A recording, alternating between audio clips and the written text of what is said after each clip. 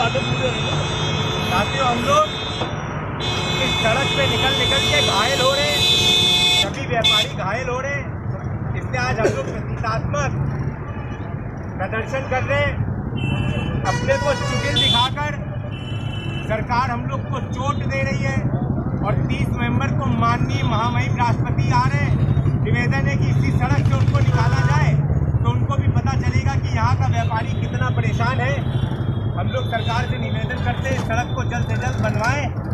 हम लोग सरकार से इस बात का आग्रह करते हैं और 30 नवंबर का जो मुख्यमंत्री ने डेडलाइन दिया है उस डेडलाइन में सारे काम हो वो जुमला ना साबित हो कि हम लोग को तीस के बाद कोई नई तारीख हो तो हम लोग प्रतीकात्मक रूप से अपने को चुटिल दिखाकर ये प्रदर्शन कर रहे हैं। थोड़ा नारे दिख रहा नारे दिख रहा सड़क बनाओ सड़क बनाओ। सड़क बनाओ सड़क बनाओ सड़क बनाओ सड़क बनाओ सड़क बनाओ सड़क बनाओ सड़क बनाओ सड़क बनाओ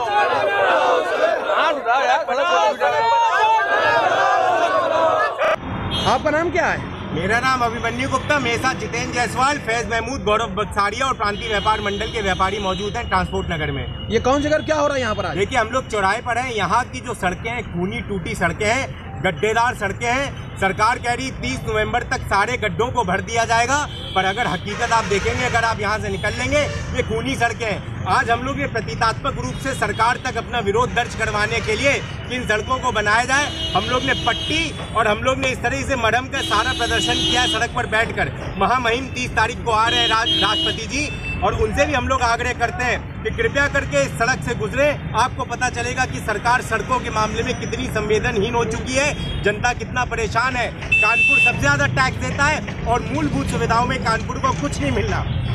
इसी के विरोध में आज हम लोग ने प्रदर्शन किया है। सरकार से मांग कर रहे हैं तीस तारीख तक इस सड़क को बनवाया जाए, वरना हम लोग ऐसी सड़क पर बैठ के गांधी की गांधी जी के रास्ते पे दिखाए हुए चलते हुए हम लोग प्रदर्शन करेंगे, विरोध करेंगे।